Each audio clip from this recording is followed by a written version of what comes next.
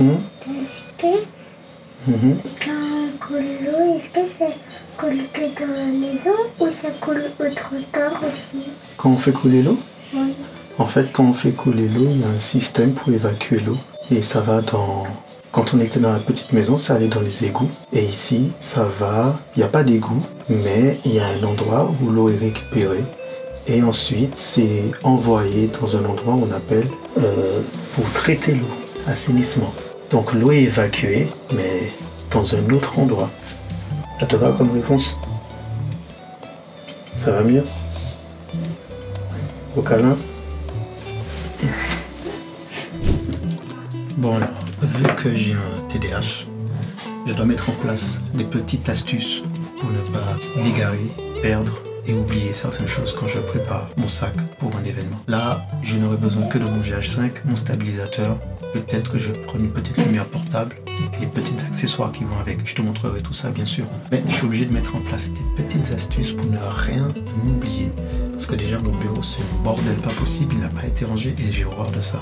J'ai horreur de me préparer pour partir sur un projet alors que mon bureau n'était pas rangé. Ça c'est sûr que je peux oublier des choses. Donc pour pallier à ça, je trouve une petite astuce. Ok, sur la table où je prépare, je vais te montrer, c'est plus simple.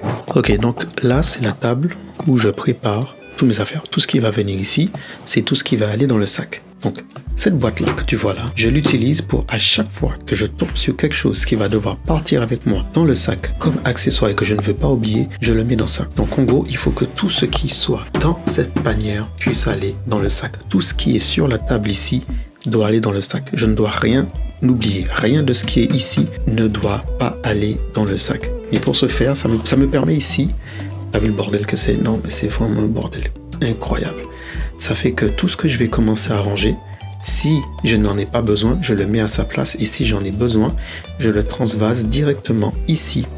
Et je sais que tout ce qui est là partira dans le sac. Et ensuite, après, je m'occupe d'ici. En gros, ça m'évite d'avoir à trop penser et à trop accaparer euh, esprit. Ça me permet de petit à petit de, le vider, de le rendre plus clair, parce qu'ensuite il y a d'autres choses qui vont venir s'y ajouter, et ça fait une sorte de charge. Et cette charge-là, quand il y en a trop, ben, en gros ça me bloque, ça me paralyse, et je prends énormément de mal à me lancer. Et sur les dernières vidéos, on a parlé de, du matériel, quel matériel utiliser pour commencer une, page YouTube ou tout simplement pour commencer la vidéo. Ensuite, on a, il faut regarder ce que tu peux faire comme vidéo, comment te statuer, qu'est-ce que tu peux mettre en avant, comment savoir ce que tu veux commencer à filmer, parce que c'est bien d'avoir des caméras, mais il faut savoir ce qu'il faut filmer. Et là, disons que là, c'est bon, t'as t'as commencé à filmer, t'as sorti ton premier projet, il est prêt, t'as fait ton montage, et tu t'es dit, vas-y, ce serait bien que je le balance sur YouTube. Tu le balances sur YouTube, et là, tu fais deux vues. Hmm. C'est pas évident.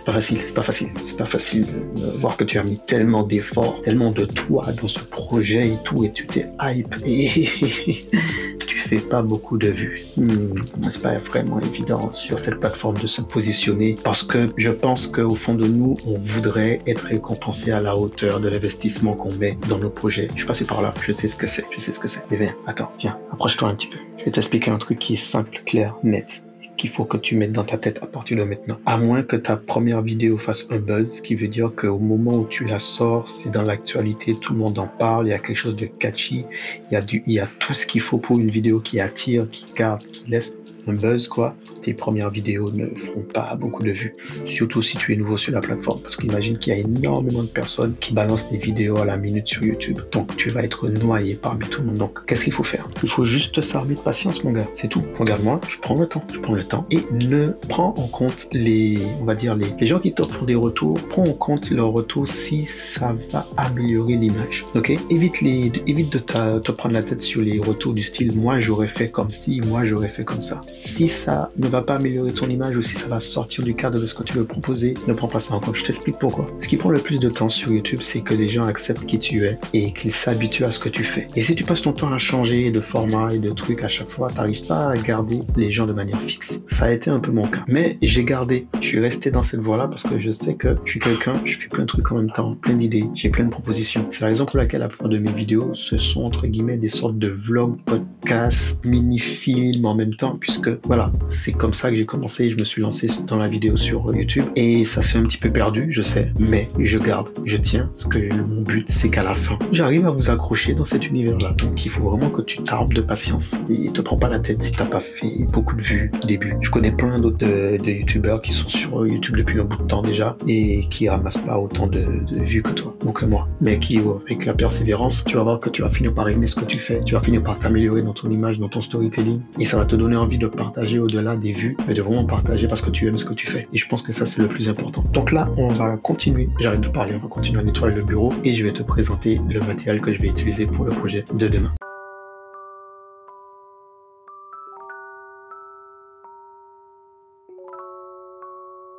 Honnêtement, je peux comprendre que pour toi, ce soit une douche froide quand tu vois que la vidéo que tu as mise sur YouTube, t'as pas eu beaucoup de likes, t'as pas eu beaucoup de commentaires, t'as pas eu beaucoup de retours, t'as l'impression que les gens, ils s'en foutent un peu de ce que tu fais, y a pas de considération, voilà. Tu pars dans ce mood-là, je peux comprendre, tu partages ton sentiment, je partage ton ressenti et je partage aussi la même émotion que toi. Les trois. Ok, t'as capté les trois. Mais j'aimerais t'attirer et j'aimerais t'attirer. Pas que je dis ça, ça peut pas être bizarre. On n'a pas encore cette euh, intimité, toi et moi, pour que je puisse commencer à t'attirer dans des ombres.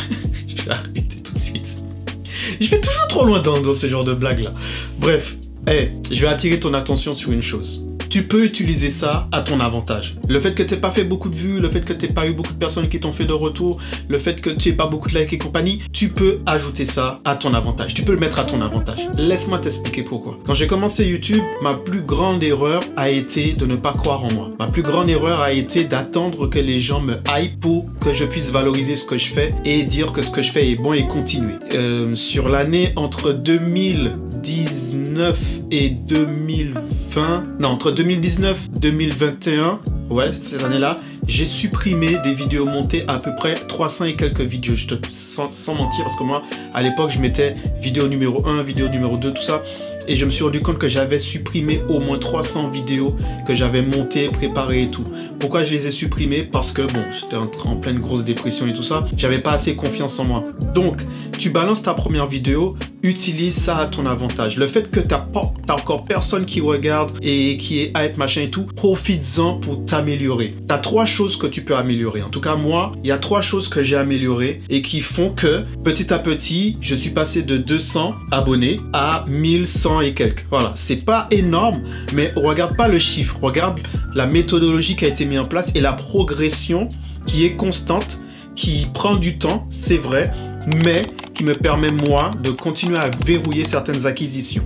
La première chose que tu dois vouloir améliorer, c'est ta confiance en toi. Et comment le faire? Ben, Il n'y a pas de miracle. Continue à bosser, continue à filmer, continue à faire des montages, continue à balancer du contenu. Ça, ça a été aussi une de mes erreurs, c'est d'avoir supprimé les vidéos. Si je les avais laissées, si je les avais, j'avais continué à les balancer, si je les avais publiées, ben, il y a énormément de, de sujets que j'ai traités qui, sur le temps et sur la longue, ben, j'avais raison dans ce que je disais. Et si je les refais maintenant, ça fait un peu le mec qui reprend ce qui a déjà été dit.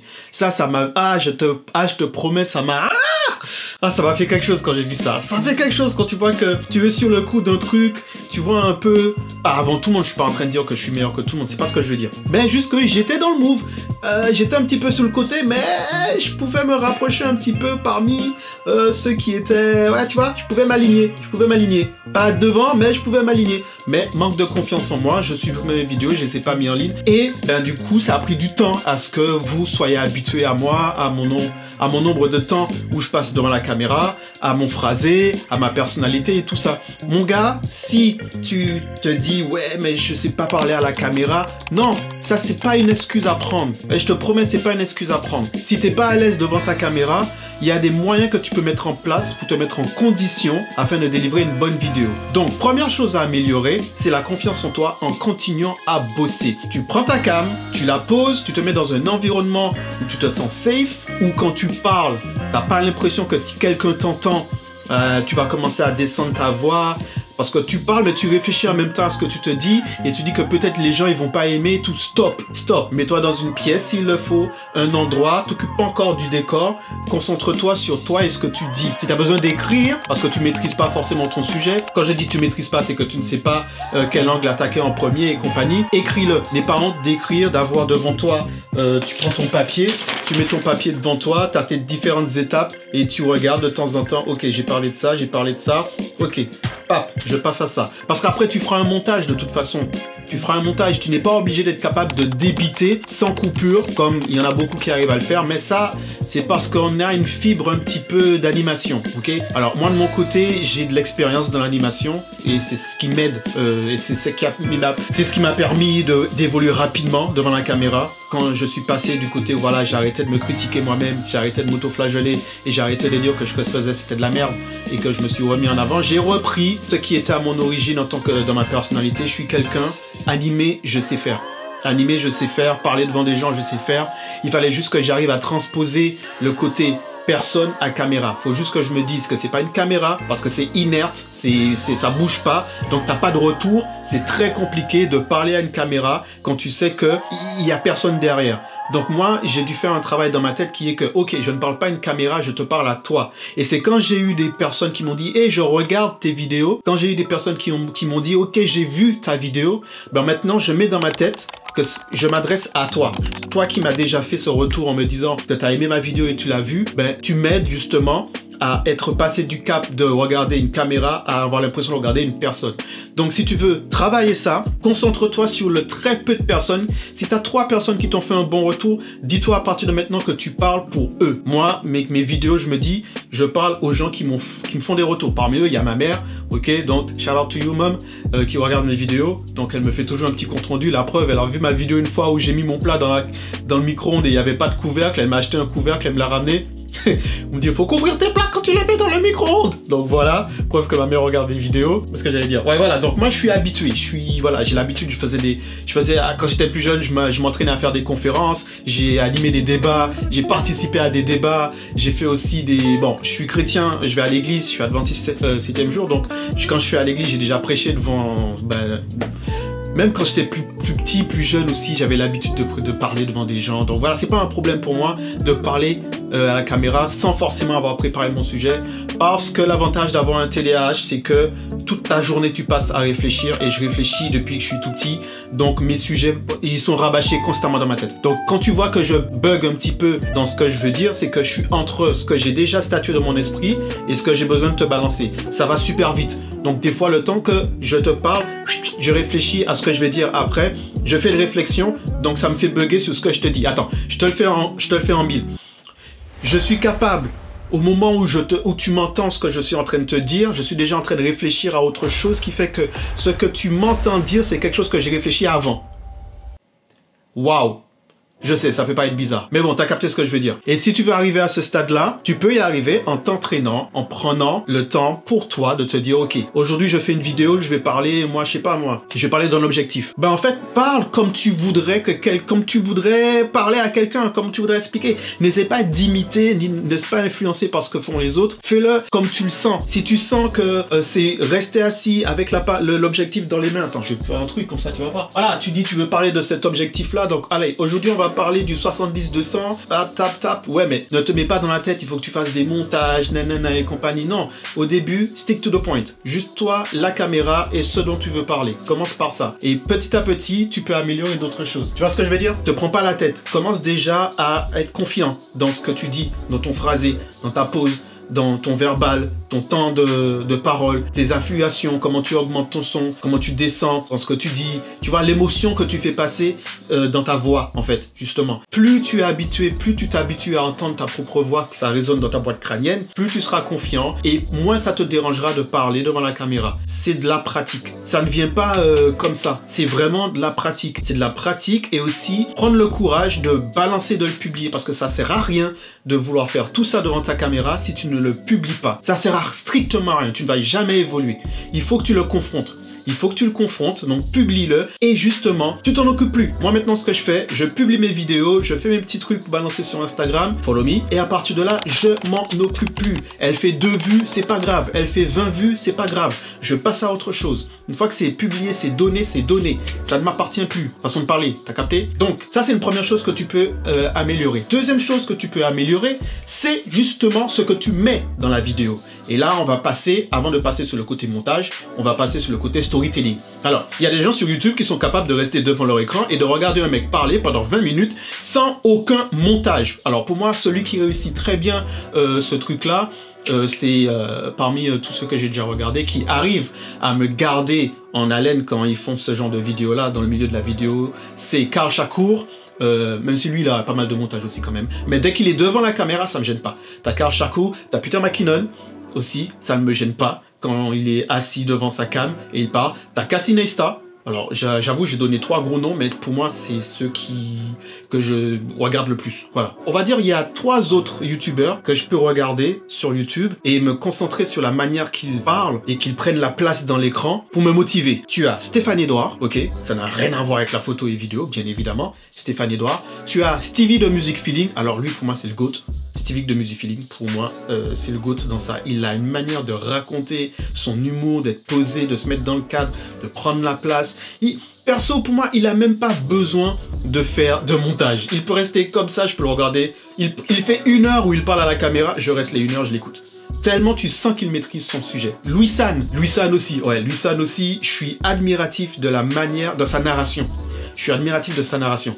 Et je, pendant que je te parle là, tu vois, c'est pour ça que je te montre et que je te dis que moi, mes trucs sont pas scriptés, donc là, tu as la preuve. Je m'en rends compte qu'il y en a encore deux autres. Il y a Chris Daikonic, il y a Chris Daikonic et Balou. Donc en fait, il y a cinq gars sur YouTube que je peux regarder, même s'ils font pas de montage, mais je peux rester là et regarder leurs vidéos. Chris Daikonic, parce que, ah ben lui, par contre, lui, je kiffe vraiment cet humour qu'il a envers lui-même. Tu vois, voilà, j'ai vraiment cet humour envers lui-même. Et Balou, euh, Balou, parce que le gars, c'est juste, ça, se voit qu'il a ça dans le sang. Hein. Le gars, il a travaillé. La, la, place que Balou, il a sur l'or, il a travaillé. C'est le gars, il peut vraiment, même, il a même pas besoin de faire de raccourcis entre ses blancs. Tu vois ce que je veux dire, c'est qu'il peut parler, il laisse même les blancs, les moments où il reprend son souffle. Et bref, j'ai, t'as rappelé ce que je veux dire. Pourquoi? Parce que je pense que ces, ces, ces, gars-là, ils, sont, ils ont pratiqué. Ils ont aussi leurs skills, ce qui veut dire euh, ce qu'ils savent faire de bien. Ils ont chacun un cursus différent. Mais ce que je veux dire, c'est que tu vois que les mecs travaillent. Tu vois que les mecs cravachent. Tu vois qu'ils sont à l'aise parce qu'ils maîtrisent ce qu'ils font. Donc tu veux t'améliorer, il faut que tu bosses jusqu'à ce que tu maîtrises ce que tu fais. Ne fais pas de vidéo YouTube si tu ne maîtrises pas ton sujet. Ça, tu, ça sert à rien. Ça sert à rien de venir faire une vidéo que tu ne maîtrises pas juste parce que tu as vu tout le monde parler du sujet, mais toi tu ne le maîtrises pas et tu le fais. Vaut mieux plutôt que tu, le, que tu en parles si tu veux en parler quand même, comme tu le sens. Moi, quand je fais de la vidéo sur Au déclic et je parle musique, je parle pas en tant que chroniqueur musique, je parle pas en tant que journaliste musique, je parle pas en tant que, tu vois ce que je veux dire? Je parle en tant qu'auditeur, je parle en tant que consommateur de musique et je donne mon expérience, je donne mon ressenti, mes émotions et mon sentiment par rapport à ça et mon raisonnement au déclic est fait pour ça. Donc si tu veux, tu peux aller regarder les, vidéos qui sont déjà sorties dessus. On parle musique. Quand je suis sur ma vie de famille, notre vie de famille avec mon épouse, c'est la même chose. Je te donne mon expérience. Je suis pas là pour dire que euh, voilà un couple doit faire comme si. Non, tu vois, c'est pas mon domaine. Je suis pas psychiatre, je suis pas psychologue, je suis pas thérapeute, je suis pas dans ce domaine-là. Donc, j'aurais pas le phrasé, ni le mot, ni les intonations, ni, tu vois ce que je veux dire, ni l'étymologie de ce qu'il faut. Voilà, j'aurais pas cette narration-là. Par contre, je suis marié avec mon épouse, là, on va entamer notre douzième année. Donc, je pense qu'en termes d'expérience, je peux dire quelque chose. J'ai deux enfants, l'un a 7 ans, l'autre a 5, le troisième va arriver. Si tu me demandes de réagir en tant que parent, je pense que je peux donner quelque chose, je peux sortir quelque chose. Et en tant que vidéaste, photographe, voilà, tu vois, je me place plutôt comme ça sur YouTube. Je suis pas le gars qui vient t'apprendre des choses. Je suis le gars qui vient partager avec toi des choses. Et c'est ça qui me permet de pouvoir faire mes vidéos sans forcément scripter ce que j'ai à dire. Parce que je suis vraiment dans, l'instant, dans le partage. Tout ce que je te dis là, c'est pas écrit à l'avance. Je te le balance et je te le partage. Donc, je te disais, tu vois, j'ai commencé à dériver. La deuxième chose que tu peux du coup améliorer, je reviens à ce que je disais au départ, c'est du coup ton, ta, ta manière de, ce que tu vas mettre dans la vidéo. Est-ce que tu vas faire De temps en temps, tu vas filmer ce dont tu parles? Par exemple, si tu fais une review sur le RS3 Pro, tu peux faire deux types de manières. Tu as deux types de manières de le présenter. Tu peux le présenter en même temps que tu parles euh, avec la caméra, voilà, tu le montres et tout. Et tu peux tout simplement aussi, après, filmer ce qu'on appelle des b-rolls, qui veut dire des plans B que tu vas incorporer ensuite après avoir ta première vidéo. Donc, tu fais ta première vidéo où tu parles de trucs et ensuite en la réécoutant, tu te dis, ah ben c'est bien, je pourrais peut-être incorporer telle image parce que j'ai dit ça à tel moment, ben je vais filmer tel truc. Comme j'ai dit ça à tel moment, ben je vais filmer telle partie et comme ça, dans ton montage, tu pourras incorporer ce type et ce style d'image là. Ça va un petit peu dynamiser le rendu final de ton montage.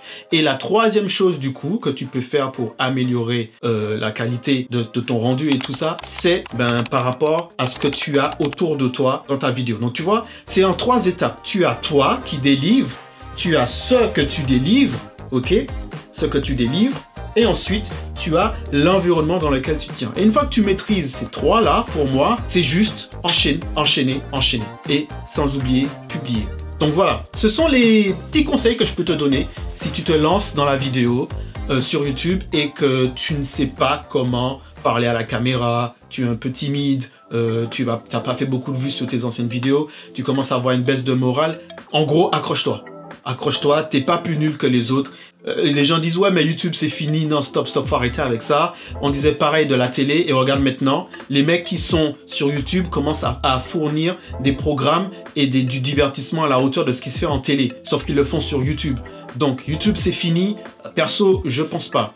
Il y a des choses qui se font moins, il y a des choses qui se regardent moins, je suis d'accord, mais ça n'empêche que si toi c'est ce que tu kiffes, c'est ce que tu aimes et ce que tu veux faire, en t'accrochant, en y allant franco, en mettant de l'investissement, du temps, de ta personne dedans, ok Tu peux y arriver, tu peux t'améliorer. C'est, tu ne peux faire que t'améliorer. Tu peux pas faire pire. Faire pire, c'est pas prendre en compte les erreurs et les échecs.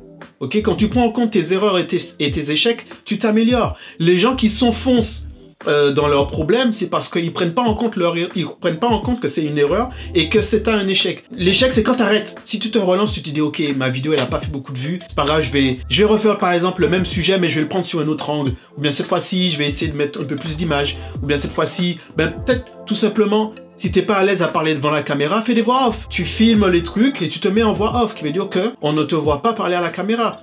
Tu écris ton script, tu prends le temps de le lire tranquillement et ensuite tu fais ton montage. Ça aussi, ça peut être une méthodologie que tu peux utiliser pour commencer. Et petit à petit, à force de le faire, tu prendras du courage, tu seras habitué à toi-même, tu seras habitué à ta voix et tu pourras délivrer pour toi déjà, partager ce, qui te plaît et que quand tu es content de ce que tu as fait, tu le partages et là, ça te donnera de bonnes vidéos. Voilà. Bon les gars, moi je m'arrête ici. Tu as capté que j'étais en train de ranger un petit peu pour préparer euh, ce que j'ai à faire pour aujourd'hui. Ce soir, on va filmer très tard. Je crois qu'on va filmer sur les coups de 3h du matin. Ça va être chaud. Mais bon, ce sont mes heures de toute façon. Euh, donc je te donne rendez-vous à la prochaine vidéo. Et sur ce, salut ah oui, soit dit en passant, n'oublie pas de t'abonner, liker, commenter et partager ma vidéo, hein, parce que j'ai vu, euh, j'ai regardé mes stats, j'ai touché à peu près 580 et quelques personnes. Franchement, si les 580 personnes, vous avez juste fait un abonnement, comment ça irait tellement vite pour moi? Donc, euh, si, si tu passes par là pour la première fois et t'es arrivé jusqu'à la fin de la vidéo, un petit abonnement, ce serait génial de ta part. Voilà, vous m'encouragez. Parce que cette vidéo est sponsorisée par personne Allez, cette fois-ci, c'est vraiment tchuss. On se donne rendez-vous à la prochaine vidéo.